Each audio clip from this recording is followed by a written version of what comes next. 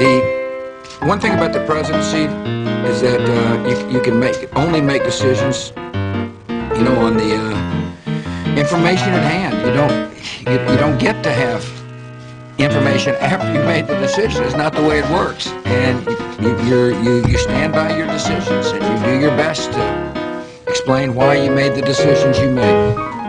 Um, there have been disappointments. Abu Ghraib obviously was a huge disappointment during the presidency.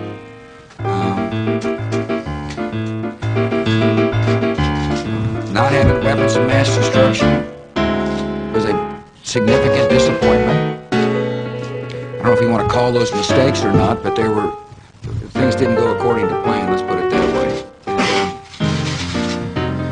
Anyway, I think uh, historians will look back and they'll be able to have a better look at mistakes after some time has passed. I, I, I Jake's question, there is no such thing as short-term history.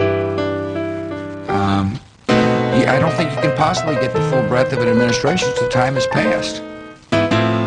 You know, where does the president's did the president's decisions have the impact that he thought they would, or he thought they would over time?